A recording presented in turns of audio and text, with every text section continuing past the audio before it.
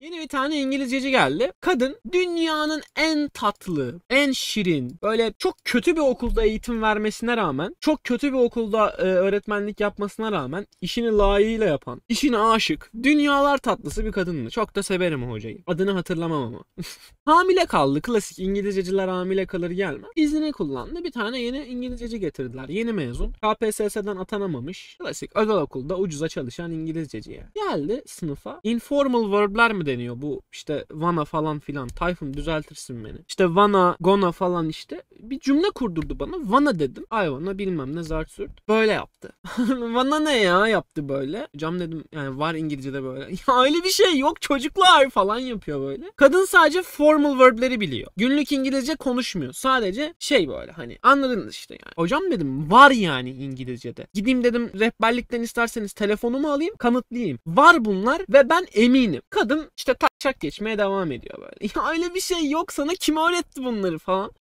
Kars Kafkas Üniversitesi'nden mezun olmuş. İngiliz dili edebiyatı okumuş. Pedagojik informasyon almadan gelmiş ders veriyor yani. Normalde bize ders vermesi de yasak kadının. Çünkü İngilizce öğretmeni değil. Biz bir yerden sonra bu kadını trollemeye başladık. İşte hocaya sordum hocam işte hangi diziyi izliyorsunuz? Game of Thrones dedi. Gittim o dönem Ruslar Game of Thrones'un e, şeyini sızdırmıştı. İşte 2017-2018 dönemi. İşte senaryoyu sızdırdılar. Gittim tahtaya tüm senaryoyu yazdım. Şu ölüyor, bu ölüyor, bu hayatta kalıyor. Bunu şöyle sikiyorlar falan. Kadın sınıfa geldi böyle tahtaya baktı.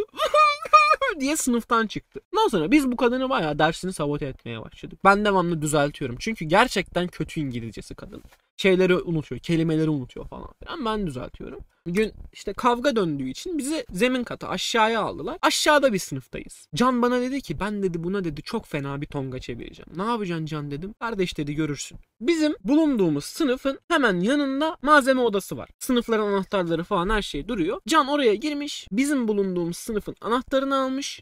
Dersteyiz böyle. Kadın girdi derse böyle. Şey yaptı. Merhaba çocuklar. Bugün sizlerle İngilizce'de bilmem ne başı verb'leri öğreneceğiz. Hadi tahtayı silelim bakalım dedi böyle. Kimse silmedi tahtayı. Kendi sildi. Can ayağa kalktı böyle. Can'ın birkaç fotoğrafını da gösteririm size böyle. Şey bazen trolüne yaptığı böyle bir tok sesi var. Böyle yaptı. Hocam şimdi sizi kurtaracağım yaptı böyle. Ne diyorsun Can falan yaptı. İşte bu görevi tamamlamam gerek dedi. Anahtarını çıkardı. Sınıfın kapısını kilitledi. Anahtarı da aşağı attı. Döndük böyle Can ne yaptın koyayım falan. Ben dedim ne yapıyorsun birader? İzle kanka yaptı. Sonra dersin ortasında bak ya fotoğrafları var bunların. Benim anlattığım hiçbir anı kolpa değil koyayım. Dersin ortasında pencereden tırmandı. Bak tahtayı da kimse silmemiş. Bir ders önce fizik. Dersin ortasında tırmandı bir dakika bu fotoğrafın devamında ha, tamam bir şey yok. Okey. Facebook'tan bakıyorum ya. Dersin ortasında tırmandı böyle gitti. Anahtarı aldı, kapıyı açtı, sonra böyle yaptı böyle. Evet, sizi kurtardım arkadaşlar. Ben olmasam burada kalacaktınız falan yaptı. Hoca birden ay can harikasın falan dedi. Ben ondan sonra rehberliğe çıktım dedim ki hocam bu kadın ders işlemiyor. Mal mal şeyler yapıyor derste. Ya ders işlemiyor dedim yani. Hani çünkü bir yerden sonra dersler canın akrobasi hareketlerine döndü. Sıra koyuyor ortaya. Hadi can atla üstünden diye can atlıyor.